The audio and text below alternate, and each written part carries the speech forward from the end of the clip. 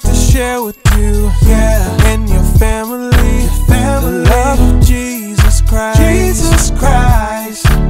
So tune in, tune in, and we will grow together to increase our faith with God with one touch. Ministries. We're touching hearts and changing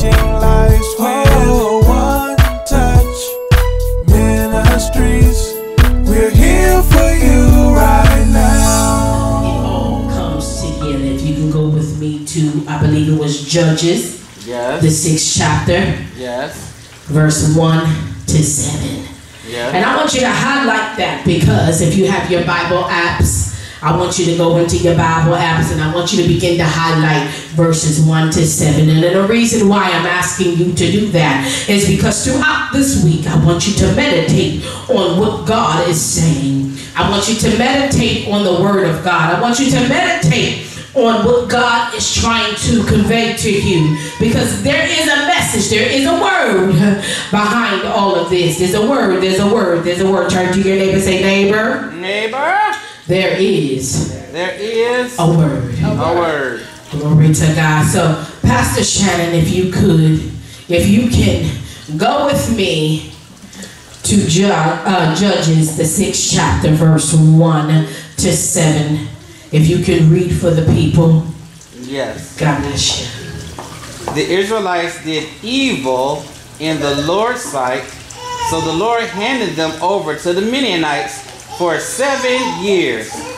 The Midianites were so cruel that the Israelites made hiding places for themselves in the mountain caves and strongholds. Whenever the Israelites planted their crops, Midianites uh, from Um, Amalek and the people of the east will attack Israel, camping in the land and destroying crops as far away as Gazak. They left the Israelites with nothing to eat, taking all the sheep, goats, cattle, and donkeys.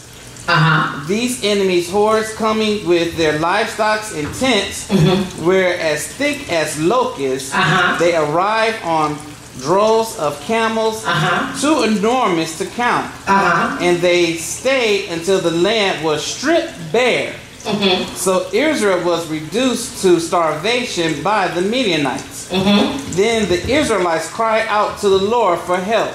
Mm-hmm. When they cried out to the Lord because of Midian.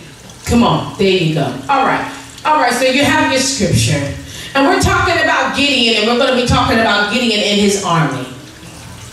And some of you know the story, some of you don't know the story, but I would like for you, if you could, in your moments of meditation throughout the week, go back and read Judges, the sixth chapter, verses 1 to 7. Matter of fact, read the whole chapter and you can get a more clear understanding. But I'm to do my best to make sure that you get an understanding about Gideon.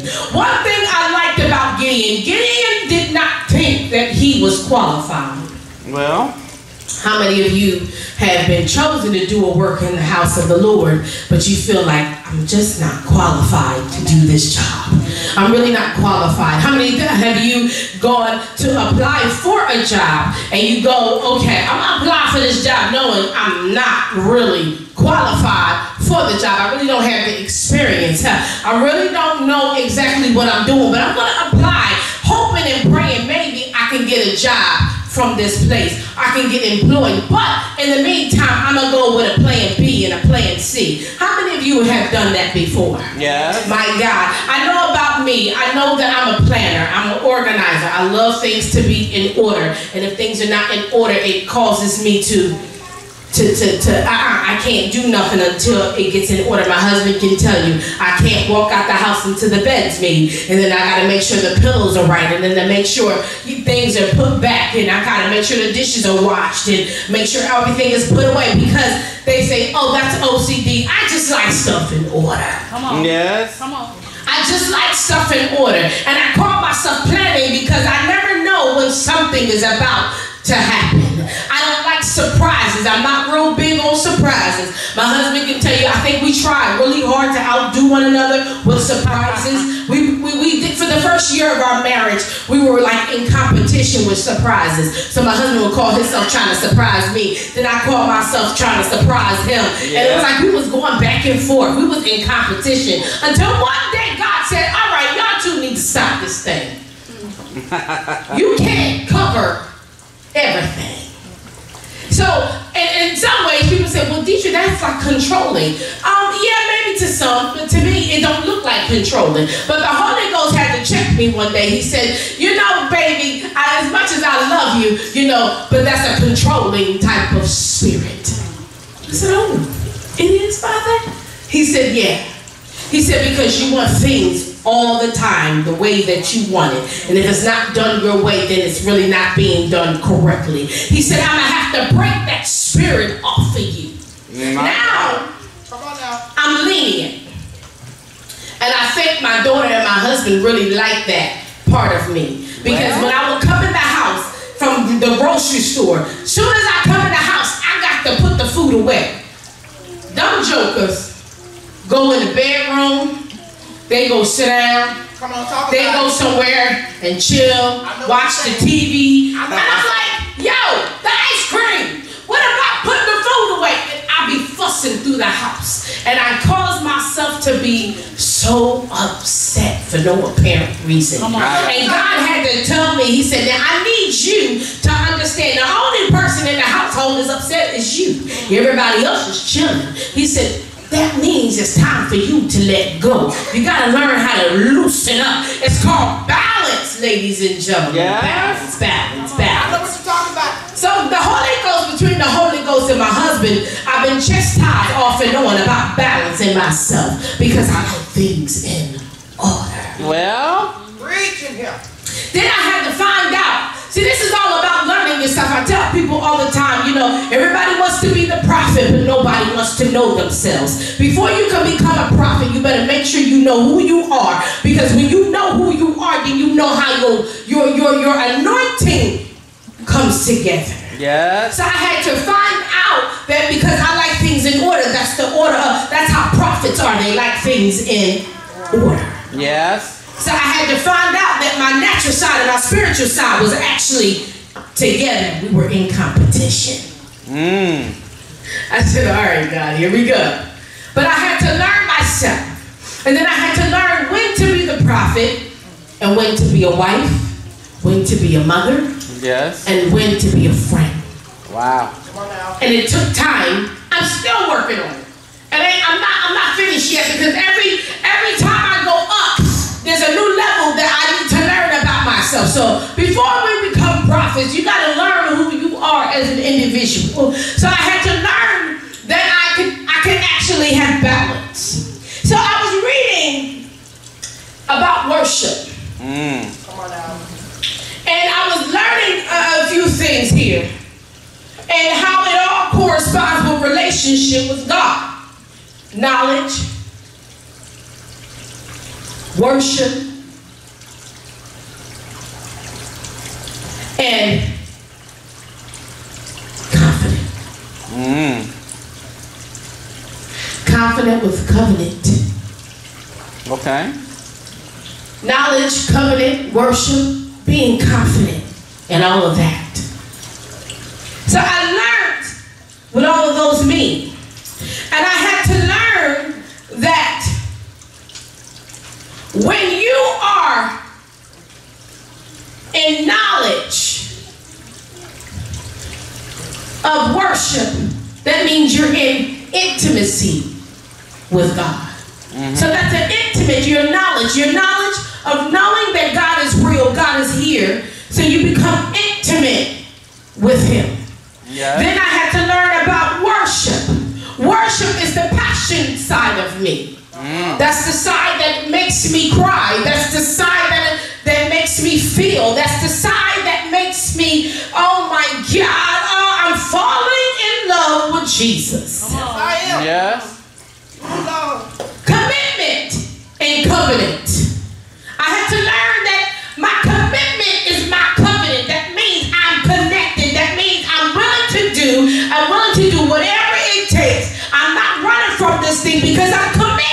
It's just like a relationship. Husband and wife. I am married to a man who I love and I'm committed to this man and I'm willing to stick in. Oh, come on, somebody. I'm willing to stick in, stay in, regardless if uh, it goes up and down and it seesaws. Uh, because you know marriage, one thing about relationships is always an up and down type of thing. So I'm committed to this thing. My question is to you, are you committed? Come on. Yes. Come on. Come on. Are you committed to be into the covenant, into the worship of passion, of to the knowledge of intimacy with God?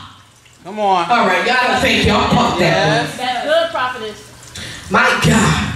So Gideon, because of his doubt within himself, he forgot that God had called him to do a work. And he began to ask God questions. My He said, God. God, I need to know for sure. Are you really calling me to do this thing? Are you really calling me to be who you you said I could be? Are you really are you really calling me to lead us in war? Are, are, are, you, are you really calling me? I need to know, God. Are you really calling me? Some of you are asking the question, God, are you really calling me? Wow. Man of God, woman of God, I want to let you know that God said, I am calling you. Yeah. I am calling you to war. I am calling you to intimacy. I am calling you to knowledge. I am calling you to passion. I am calling you to worship. I am calling you to covenant. I am calling you to be committed to, to the war, to be committed to the will of God. Yeah. Are you willing to do this thing? Amen. All right.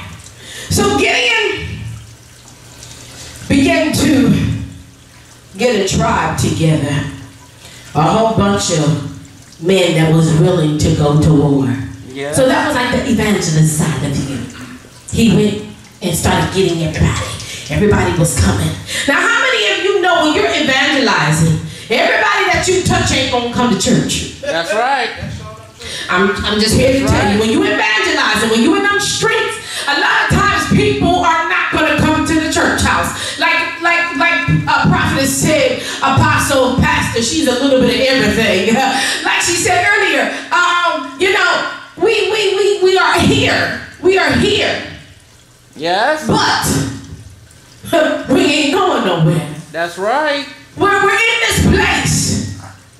You know, we're, we're touching people. We may be few in number, but we're here. And, and a lot of times we're here we're touching people, but everybody's not willing to come into this place because the church hurt. And she said, I don't believe in the church hurting. That I believe that there's people who are literally just ignorant to the fact that who God really is and what God can really do. And, and, and that's what that, that that's what real, real, real uh uh uh just realness is all about. You gotta explain it that way. That It's the people that Yes. are hurting. Yes. Hurt people hurt people. That's right. When you're in the church, and, and they call it church hurt because it happened in the church. Come on. Right. I need y'all to understand that. Yes. Just because it happened in the church doesn't mean that it was the church that hurt you. The building didn't hurt you. The building didn't slap you upside the head. The building didn't talk about you. It was the people inside of the building that was running their mouths. Yeah. Because they're ignorant to the fact that God is real. Okay. So with evangelism, this is why we have to go outside of the four walls of the church house. Because evangelism, you gotta remember that people are not gonna always come into the house. They're not gonna always come into this house. They're not gonna always be inside the church. They're not gonna always sit inside of your pews. But what they follow you uh, to the store. Yes. They will follow you and ask you, can you give them something to eat? That's your that's your cue right there. Some of you don't understand that's your cue right there. When people are asking for something to eat, you as you're buying them something to eat, begin Yeah. to spit the word to them. Yeah. Well, God told me to tell you that He loves you. Uh-huh. Huh? A lot of times that's all you have to say is God told me to tell you that he loves you. Why? Because people around today feel like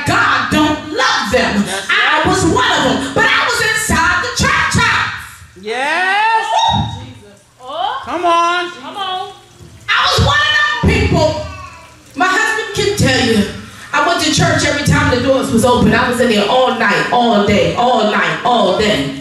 But I felt like God didn't love me. My God. but I was inside the church house. Mm. This is why I keep telling y'all it's important for you to just tell people God loves you. Yes. All right, all right, I'm going on. I told you I'm gonna go everywhere. Cause see, you know what? I look at it like this. I may not have y'all again. So if I don't have you again, I better give it all to you at one time. all right, so y'all have to excuse me. I'm gonna go here, and I'm gonna. I'm not one of them pastors or preachers or whatever you wanna call me today. I'm not one of them people that just stick to the script. If God puts it in my spirit, I'm gonna say it. I'm gonna say, it cause I may not see you next week. Glory to God, and I wanna impact you now because a lot of times you don't understand. We only got 20 seconds to keep the attention of a person. Okay,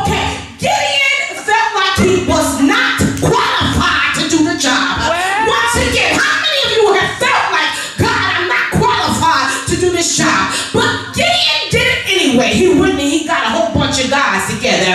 My God, they were getting ready to fight a whole bunch of people in Israel. I think it was 135,000 men that got together. They were getting ready to fight Gideon, and Gideon only had 32,000 together. Well, But because God is God, and He's always up to something. We don't always know, but He's always up to something. yeah. Okay. I'm gonna hurry up here. I'm gonna hurry up here. Oh. Oh, glory. This one right here. All right. God told Gideon, He said, I know you got 32,000. My God. He said, and I'm real proud of you, Gideon. You did your thing. He said, but I need you to, my God,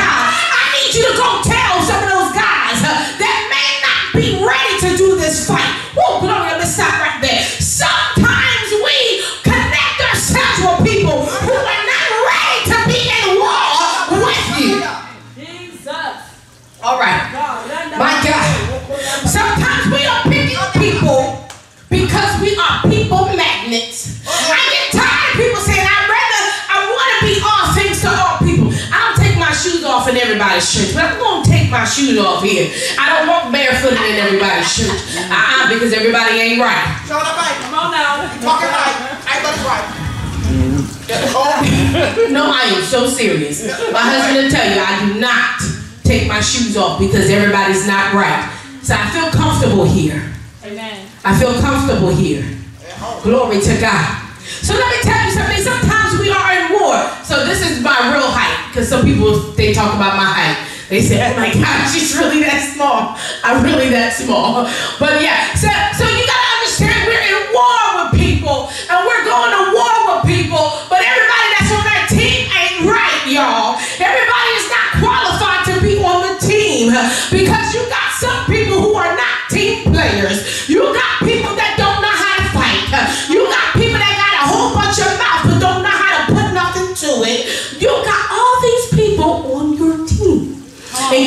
telling Gideon, Gideon, I need you to lower that count. Yes. He said, lower the count. He said, now wait a minute, Jesus. He said, you got to understand, God, there's 135,000. Yes. You only gave me 35,000. Uh huh. So I still got 100,000 people that's coming for us. So you mean to tell me you really want me to lower this thing? He said, all right, I'm going to do what you say, John. I'm going to stop lying. I'm going to do this thing. And the reason why, one of the major reasons why, this ain't even on my notes, But but one of the major reasons why God wanted him to do this was because he did not want Gideon to feel as though he did this thing Yeah. on his own. Yeah.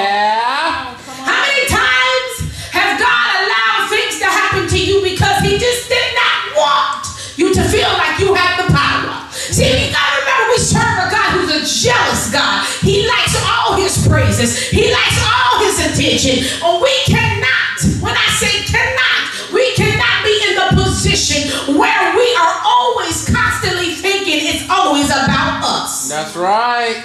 It's not about us, God said. God said it's not about you. It's not about nobody else. It's about me. Mm-hmm. And in return, God began to tell Gideon, he said, now I want you to take him to the to the water. He said, because he, we're going to I want you to become watchful. Yeah. See, a lot of times we're in war with people. We're going to war. We got a whole bunch of people on our team. But when nobody's watching watching these people that are on our team. We're not even watching them. We just think just because they're connected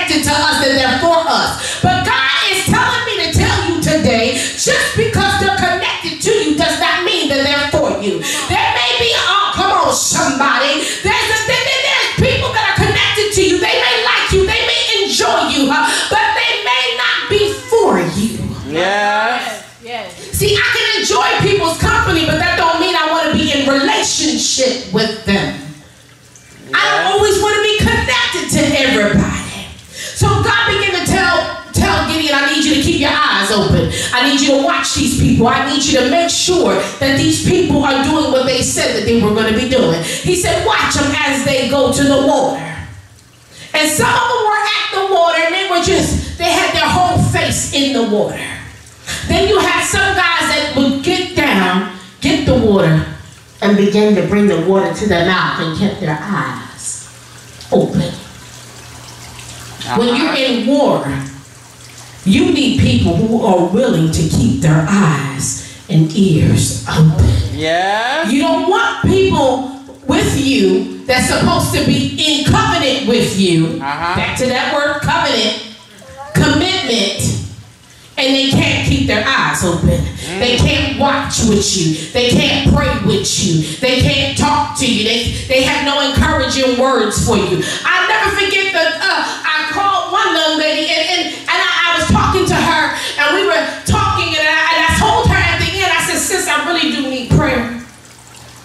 That's what I said. I said, I really need prayer. I need somebody to pray with me because I was down. I was really down. I was down and my spirit was down. Yeah. I said, I need somebody to pray with me. Oh man, I to pray with you, but I'm real tired. I'm worn out. So that goes to show me that right there lets me know even though we may be on the same team, Uh-huh. but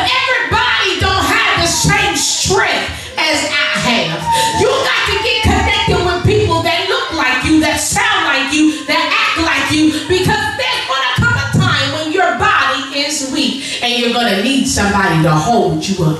Yes. As time went on, God told Gideon, Gideon, I want you to begin to disconnect yourself from some more men. Send them home. Tell them they're not, that you you don't need them any longer. So it got to the point that Gideon began to tell the rest of the guys that, that they can go home. And Gideon wound up with what? 300. Yes. 300. So, the funniest thing is, when I was studying, God told me, He said, the topic of your sermon be sometimes 12 are chosen, but you can only pick three. My God. So when Jesus was trying to do what he needed to do, he only, even though he had 12 disciples, but he only would allow himself to connect with three Yes. James, John,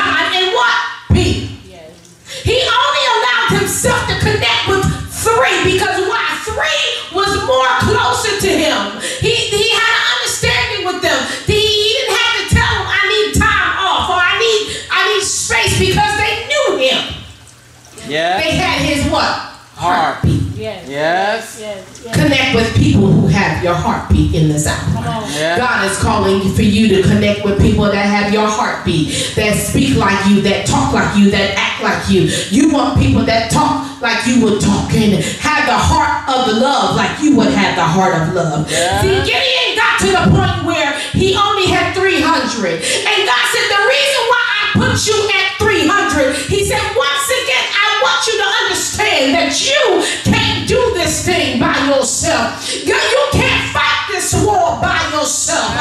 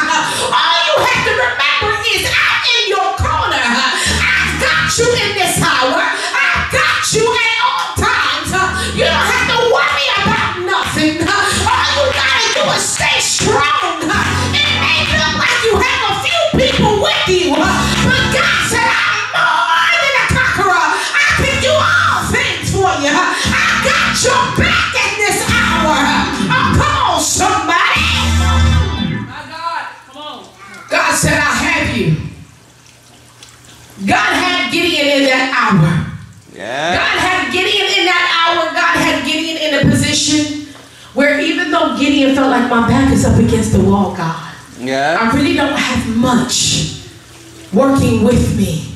But God said, if don't worry about the number, just know that I'm right there. Yeah. And they won that war because Gideon was willing to be obedient. He was committed to the call. He was committed. He was committed to the covenant Yes. that he had with God. Gideon also acknowledged. He knew he was, he was he knew that he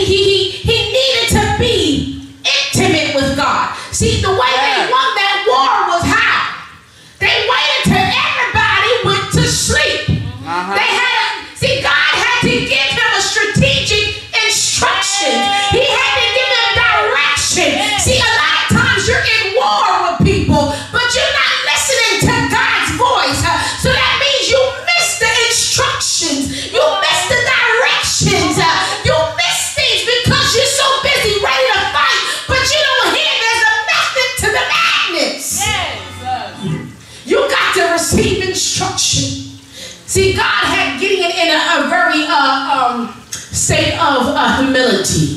He was he was real like, uh, okay, God. Well, I know I'm not really qualified to, to free the oppressed Yeah. people. He said, but I'm willing to do what you called me to do. God is saying, I need you to be at, at, at a low point. I need you to be, uh, uh, uh, need you to have humility. I need you to be calm. I need you to be willing to listen to me. Be obedient. See, when you're obedient to the will of God, what happens is great things that happen. God will give you the antidote for everything. God will give you the blueprint for everything. God will give you instructions for everything. If you just become obedient to his will. Yes. Yes. I need some people that are willing to be obedient. God's saying. In, in Joshua, the first chapter, the ninth verse, it says, Be strong and courageous. Yes.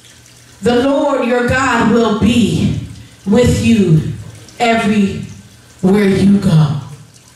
Today I'm telling you to be courageous in this hour. Yes. God is calling for you to be courageous in this hour. God is calling for you to understand that He is everywhere you go. No matter what's going on in your life, He is everywhere you go. I want you to be courageous in this hour. God is calling for you to be courageous in this hour. Oh, glory to God. Thank you, Jesus. Oh, glory to God. Gideon was willing to be courageous. Come on. Gideon was willing to be obedient, committed to the call. He acknowledged that he needed God and he acknowledged the intimacy with God because in, in intimacy is where you hear God. Yes. I'm going to say that again. I said intimacy is where you hear God. Amen. Because see, when you become intimate with God, it gives you an opportunity to hear from Him properly. It gives you an opportunity for your ears to be wide open so you can hear God. Oh, glory to God. Yes. Gideon was willing to be courageous and say, God, I'm going to be committed to the covenant. I'm going to be committed to, the, to, to, to, to what you said to do. I'm going to worship you. Within worship, I, I, I, have find my passion. So his passion now is being able to, to get people together, but in small groups. Because when Gideon began, before they went into war, he put them into small groups. Yeah. Three small groups. A hundred here, a hundred there, and a hundred here. He said, I'm putting them into small groups. So Gideon learned something about himself. He said, I'm able to do things with just a small amount of people. Can move mountains with just a small amount of people. Prophetess, you can move mountains with a small amount of people. Yes. Come on. Even though I see people here,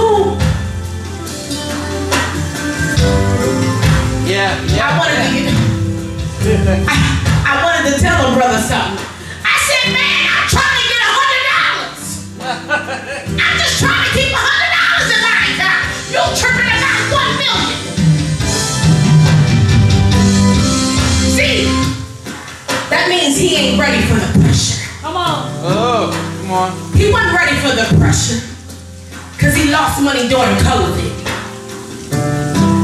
But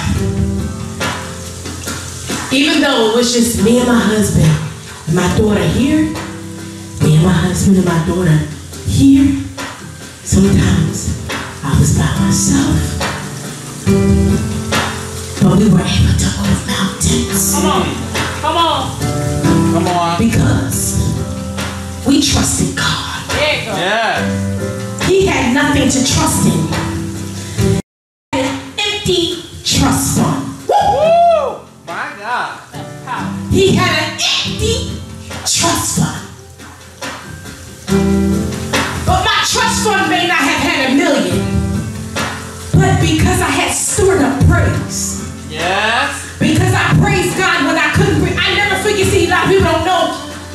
The doctor said I have a, I'm a chronic asthmatic. There were times when I would praise God and I'd be preaching and teaching and I would be having asthma attacks as I'm preaching and teaching. But I still kept going. See, God sees all of that. Yes. When I was in, laying up in the hospital for five days because they couldn't get my breathing in order. Every time the doctor would come in, he would come in.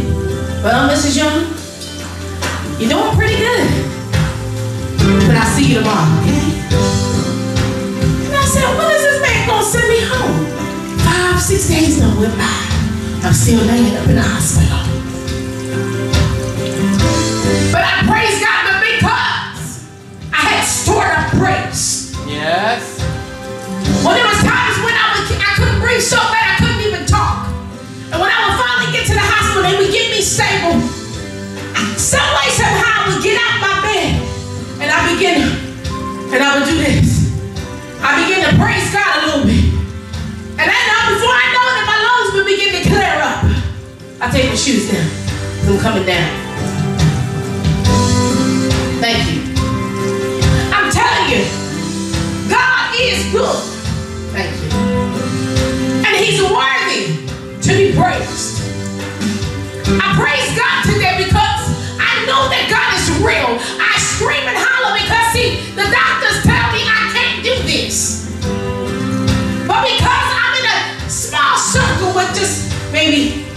Just me and my husband and my daughter here, me and my husband and my daughter here, and sometimes me by myself, but I'm moving mountains. Come on.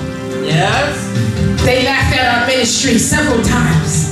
Oh, look at that little small ministry. Y'all in the house. but I preach all over. I can hit nations. You know how I can hit nations? Because I got stored up praises. Yes. We may be small in number, but we moving mountains, y'all. Y'all may be small in number, but you're moving mountains. Y'all getting the job done. God said, don't you worry, don't you fret, because the job is being